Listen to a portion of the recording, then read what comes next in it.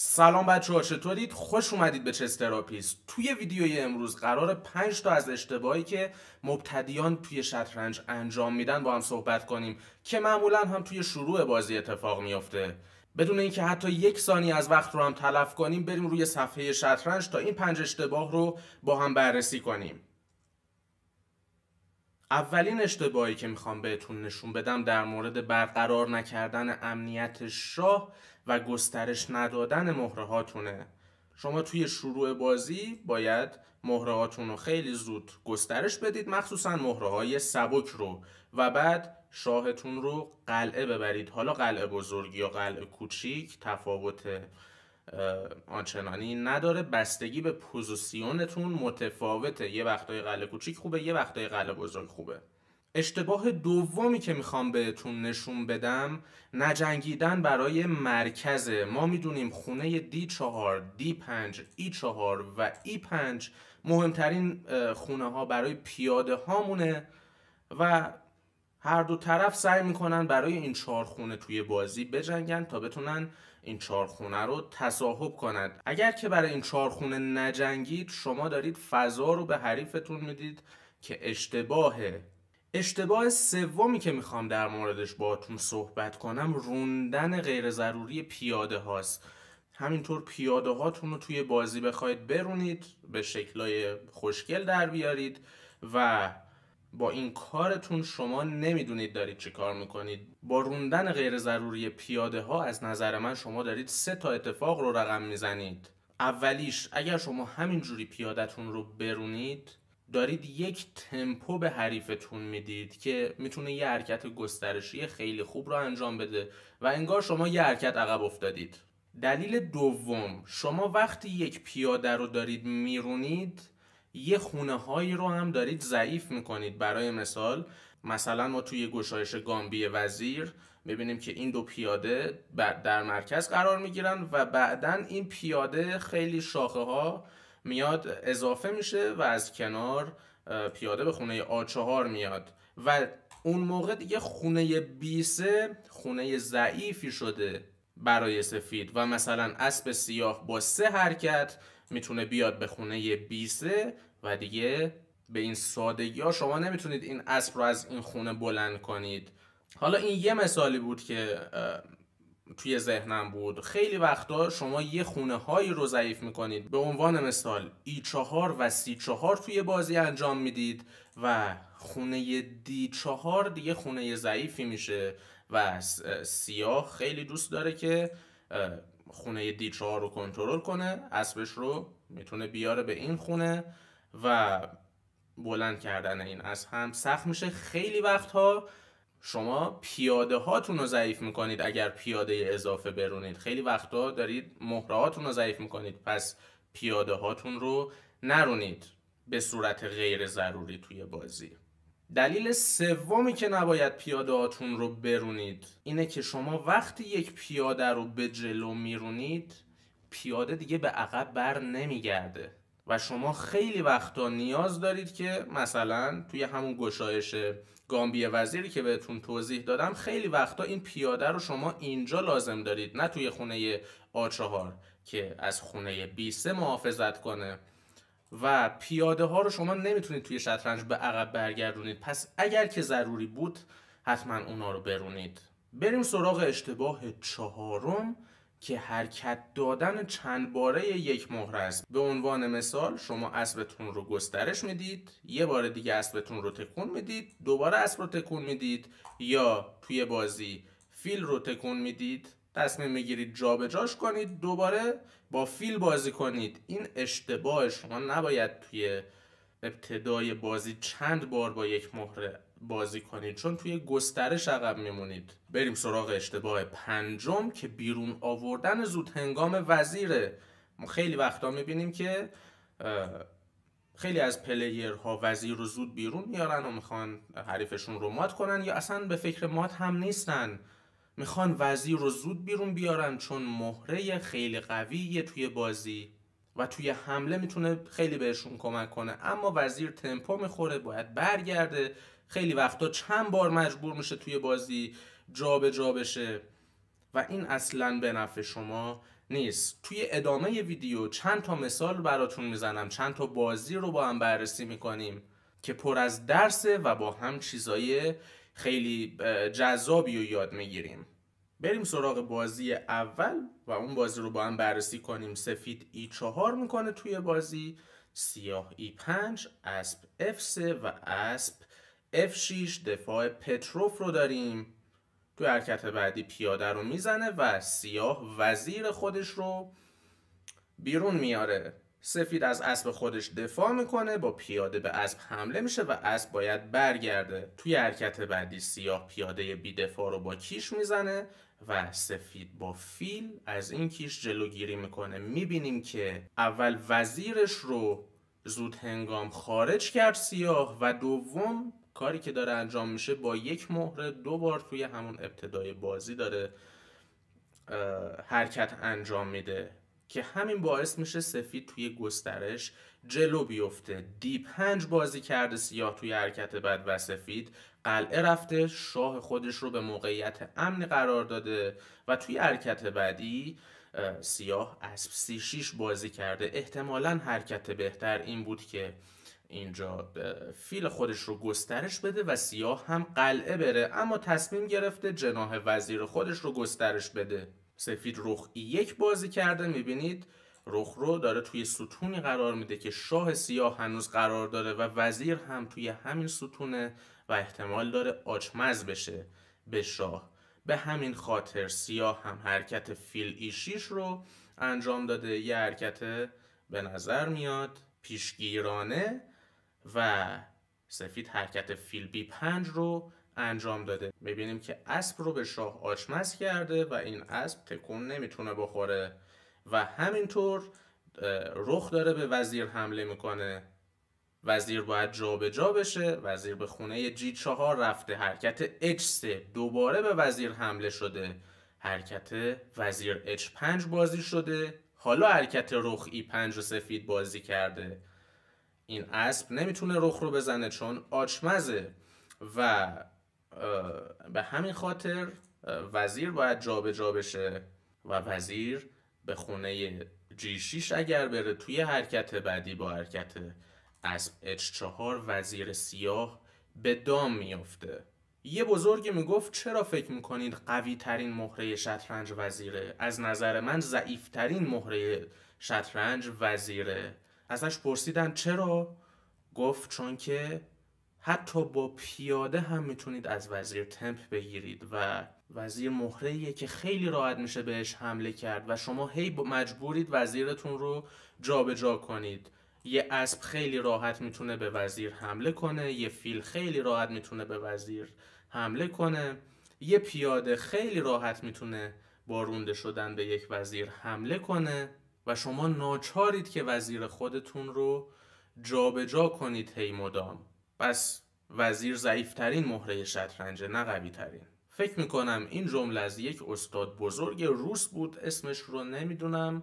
اگر که شما می‌دونید حتما توی کامنت ها برام بنویسید. بریم سراغ این بازی. این اتفاق توی بازی نیفتاده. بعد از اینکه ورکت رخ ای پنج توی بازی انجام شد اینجا سیاه حرکت جی 5 رو توی بازی انجام داده اما پوزیسیون سیاه از دست رفته است. با رخ پیاده رو زده.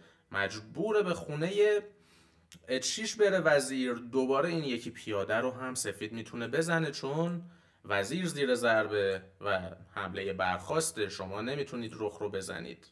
و توی همین لحظه پوزیسیون سیاه کاملا از دست رفته است و کاری نمی‌تونه انجام بده و این بازی رو هم خیلی زود میبازه. یه ویدیو هم من دارم که چطور حمله زود هنگام وزیر رو مجازات کنیم. لینکش رو این بالا براتون می‌ذارم. می‌تونید بعد از این ویدیو اگر خواستید اون ویدیو رو هم ببینید. خب بریم کامل به عقب.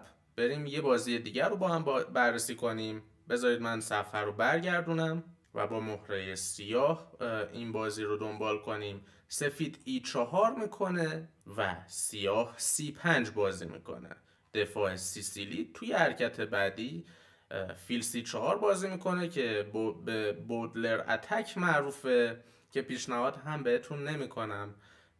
معمولا این حرکت فیل سی 4 زمانی انجام میشه که سیاه حرکت ای 4 رو بازی می‌کنه و این پیاده رونده شده.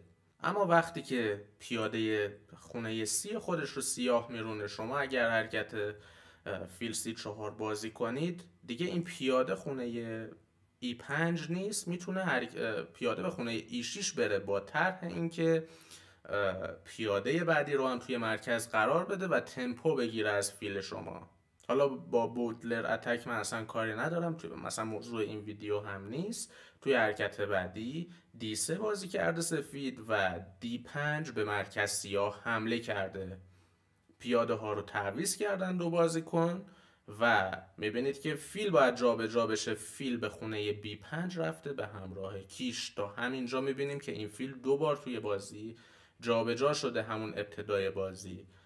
از سی شیش از کیش جلوگیری می‌کنه و برای بار سوم سفید فیل خودش رو تکون میده. اسب رو می‌زنه با پیاده پس می‌گیره. حالا اسب خودش رو سفید گسترش میده سیاه هم اسب خودش رو گسترش میده و دو بار با اسب خودش سفید بازی می‌کنه. توی همین لحظه می‌بینیم که سیاه یک مرکز خیلی خوب داره و همین باعث شده چند تمپو از سفید جلو باشه. سیاه فیل ای هفت بازی کرده آماده میشه برای قلعه و حرکت وزیر ای دو رو بازی کرده اینجا سفید. در صورتی که اینجا باید قلعه می‌رفت اما هنوز هم وضع بد نیست. اینجا سیاه قلعه رفته حالا باز هم سفید می‌تونه قلعه بره اما تصمیم می‌گیره حرکت فیل ای سه رو بازی کنه که پوزیسیونش کامل از دست میره بعد از این حرکت. سیاه رخ بی هشت بازی کرده به پیاده سفید داره فشار میاره. سفید پیاده خودش رو رونده. حالا رخ ای هشت بازی کرده. این رخ رو داره توی ستونی قرار میده که هم شاه قرار داره هم وزیر قرار داره و می‌تونه خیلی خطرناک باشه برای سفید. باز هم اما به جای اینکه سفید قلعه بره حرکت اسب دی دو رو بازی کرده که حرکت اشتباهه. به خاطر اینکه بعد از حرکت دی چهار هیچ خونه فیل برای رفتن نداره و این فیل از دست میره توی بازی. حتی اگر که اسب خونه دی دو نمی اومد اصلا اسب خونه سی سه می اومد باز چنگال اتفاق می افتاد اسب و فیل چنگال می شدن حتی اگر که حرکت اسب آسه هم بازی می شد پوزیسیون سفید از دست رفته است. این حتی بدتر هم هست چون احتمال زیاد سفید وزیرش رو از دست میده. باز هم شما پیاده خودتون رو میرونید مجبور برگرد فیل و با حرکت فیل دی شیش دارید فشار به اسب میارید و مهمتر از همه وزیر سفید رو دارید مال خودتون می‌کنید. توی این لحظه احتمالا اگر نخواد وزیر رو از دست بده باید فیل رو برگردونه سفید. اسبش رو می‌زنید. فیل همچنان زیر ضربه. اگر بخواد فیل, فیل رو بزنه وزیر از دست میره. و این وضعیت کاملا به نفع سیاهه.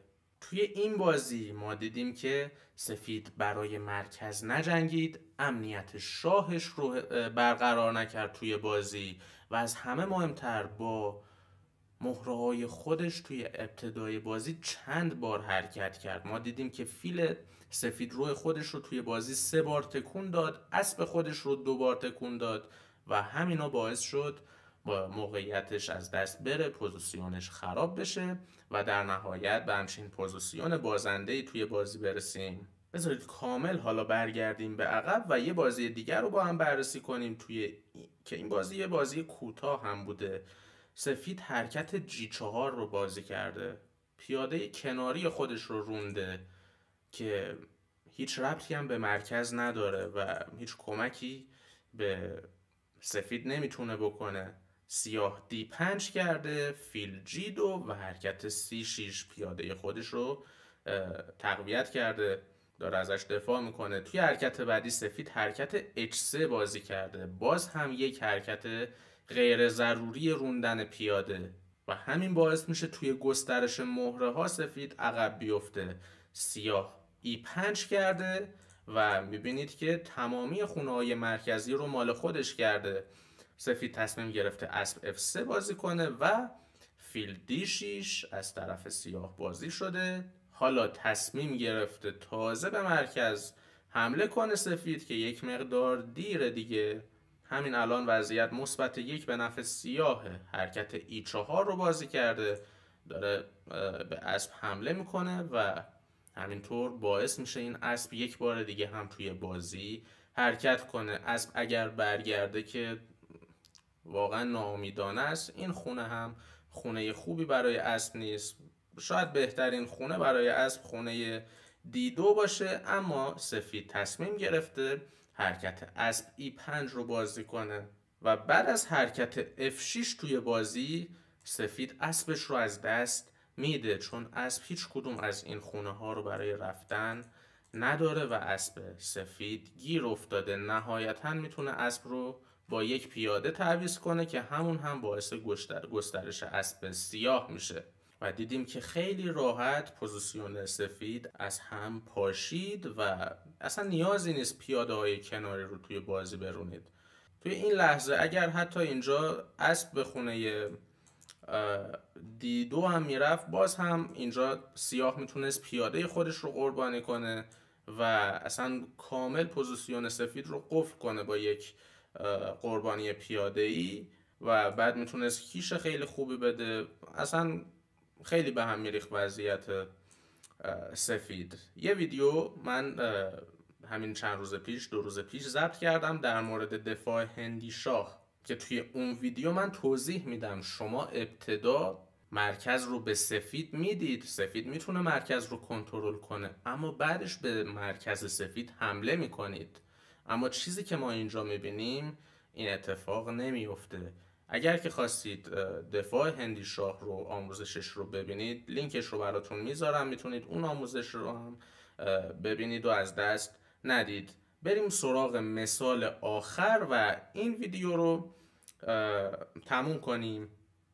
بازی آخری که می‌خوام بهتون نشون بدم سفید حرکت دی چهار بازی کرده سیاه دی پنج کرده. ای سه بازی شده و حرکت اسب اف 6 خب دو بازیکن می‌بینیم که برای مرکز دارن میجنگن. خوبه. توی حرکت بعدی اما سفید حرکت H3 رو بازی می‌کنه. باز هم یک حرکت بیهوده پیاده ای حرکت H3 داره از اومدن اسب و فیل به خونه G4 جلوگیری می‌کنه. اما کی گفته این اسب و این فیل می‌خواد اونجا بیاد؟ خب حالا دیگه تو پیاده رو اونجا گذاشتی خب ما دیگه نمیایم اونجا. و همین باعث میشه سیاه تو گسترش جلو بیفته حرکت سی 5 بازی کرده مستقیم به مرکز سفید داره حمله می‌کنه وزیر F3 بازی کرده سفید. می‌بینیم که وزیرش رو هم زود هنگام داره خارج می‌کنه. همینطور خونه ای است که اسب دوست داره بیاد و این وزیر جایگاه اسب رو هم گرفته. توی این بازی تقریبا همه اشتباهاتی رو که مبتدی ها می‌تونن انجام بدن اتفاق میفته غیر از اینکه دو بازیکن برای مرکز هم دارن میجنگن و اگر بقیه اشتباهات اتفاق افتاده. وزیر رو خارج کرده اسب سی شیش. اسب خودش رو گسترش داده سیاه. فیل بی پنج بازی شده و وزیر بی شیش از طرف سیاه. توی حرکت بعد فیل زده توی اسب و می‌بینیم که فیل سفید دو بار حرکت کرده و اسبی رو زده که یک بار فقط توی بازی جابجا جا شده و می‌بینیم که یک مهره رو هم سفید داره دو بار توی بازی حرکت میده. سیاه با پیاده پس گرفته داره یه ستون خیلی خوب رو کنترل می‌کنه یه قطر جدید برای فیلش باز کرده. همینطور پیاده هاش توی مرکز ساختار پیاده یه قدرتمندی هم سیاه ساخته و توی حرکت بعدی سفید حرکت بی سه رو بازی کرده که لزومی هم نداشته روندن غیر ضروری پیاده. اصلا این پیاده محافظ خونه سیسه بوده که اسب می‌خواد به این خونه بیاد و حالا خیلی راحت سفید می‌تونه حتی به اسب حمله کنه و از همه مهمتر شما دارید یک تمپو به حریفتون می‌دید و الان نوبت حرکت با سیاه سفید احتمالا اینجا بهترین حرکتش این بوده که اسب خودش رو بیرون بیاره و قلعه بره. اما تصمیم می‌گیره پیاده خودش رو برونه که همین باعث میشه یک پیاده توی مرکز از دست بده. حالا اگه بخواد پس بگیره با وزیر پیاده رو می‌زنیم. حالا تصمیم گرفته حرکت اسب ای دو رو بازی کنه. اما سیاه وقت کافی داره تا از پیاده خودش دفاع کنه. راه این فیلش رو هم داره توی بازی باز می‌کنه و داره پوزیسیون برای سفید خطرناک میشه. باز هم اینجا بهترین حرکت برای سفید اینه که قلعه بره اما حرکت فیل بی دو بازی کرده. حالا سیاه فیل بی چهار کیش داده. با پیاده از کیش جلوگیری کرده. با پیاده زده سیاه و با فیل پس گرفته سفید. سیاه حرکت اسب سی چهار رو بازی کرده داره فشار رو به فیل بیشتر می‌کنه. باز هم اینجا بهترین حرکت برای سفید اینه که قلعه بره و امنیت شاه خودش رو حفظ کنه. این فیل دو تا دفاع داره. اگر تعویز هم بشه در نهایت مهره عقب نمیفته سفید. اما فیل رو زده سفید. سیاه با وزیر پس گرفته به همراه کیش. حالا دیگه شما نمی‌تونید با اسب جلوی کیش رو بگیرید چون در انتها مهره از دست می‌دید. یک اسب اینجا عقب میافتید که به همراه کیشه و این وضعیت به نفع سیاه کاملا.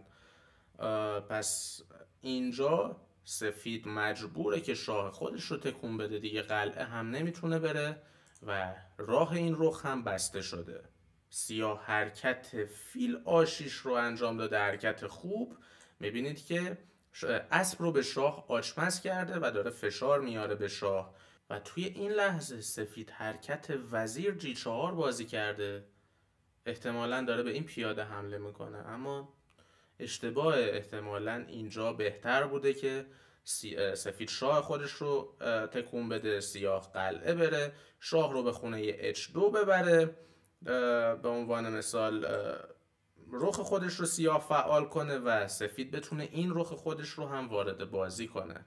احتمالا بهترین شاخه برای سفید این بوده. اما چیکار کرده به جای این کار؟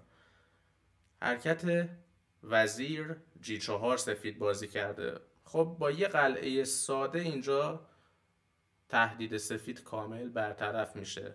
اما یه ایده دیگه ای هم برای سفید وجود داشته که توی بازی اون ایدهش رو هم انجام داده. حرکت F3 بازی کرده به اسب نشسته. اسب اگر جابجا جا بشه وزیر سیاه از دست میره. اما به اینجاش فکر نکرده بود که سیاه هم می‌تونه حمله متقابل انجام بده. حرکت F5 حرکت فوقالعاده. به وزیر سفید داره حمله می‌کنه و همینجا دیگه بازی تموم شده است برای سفید. اگر که وزیر کلا دو خونه بیشتر برای جابجایی نداره خونه H4 و خونه H5 اگر که به خونه H5 بره توی حرکت بعدی اسب سیاه به شاه سفید کیش میده و چهار تا مهره رو همزمان چنگال می‌کنه.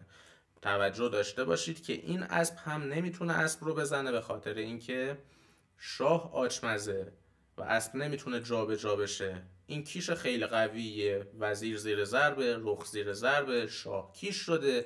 حتی می‌تونه این اسب رو بزنه برای فانش و این بازی رو ببره. به عنوان مثال اگر شاه جابجا جا بشه می‌تونه اسب رو با کیش بزنه سیاه احتمالا بر نگرده شاه چون توی این آشمزی خطرناک گرفتار میشه باید به این سمت بره و بازی رو می‌تونه سیاه به مسخره بگیره و این بازی رو ببره خیلی راحت. خب بذارید بررسی کنیم. اگر که این وزیر به خونه H4 بره چه اتفاقی میفته وزیر تو خونه H4 هم دیگه یه وزیر بیدفاع حساب میشه و سیاه حمله برخواست داره با حرکت اسب دید و کیش الان مجبوره که با اسب اسب رو بزنه و توی حرکت بعدی سیاه می‌تونه وزیر سفید رو از آن خودش کنه و این بازی رو هم به نفع خودش به پایان برسونه. این هم بود از مثال آخر. بذارید در انتهای جنبندی کنیم و اشتباهات رو با هم یک دور دیگه بررسی کنیم. اشتباه اول برقرار نکردن امنیت شاه و گسترش مهره ها اشتباه دوم نجنگیدن برای مرکز. اشتباه سوم حرکت دادن یا روندن غیر ضروری پیاده ها اشتباه چهارم حرکت دادن چند باره یک مهره توی بازی. و اشتباه پنجم بیرون آوردن زود هنگام وزیر. امیدوارم که از این ویدیو خوشتون اومده باشه و تونسته باشید یه چیزایی ازش یاد گرفته باشید دانش شطرنجیتون بیشتر شده باشه و از این ویدیو لذت کافی رو برده باشید. اگر که از ویدیو خوشتون اومد ممنون میشم که لایکش کنید و اگر که به شطرنج علاقه مندید کانال من رو subscribe کنید تا جامعه شطرنجیمون گسترده تر بشه. من کیانم و توی ویدیوی بعدی میبینمتون.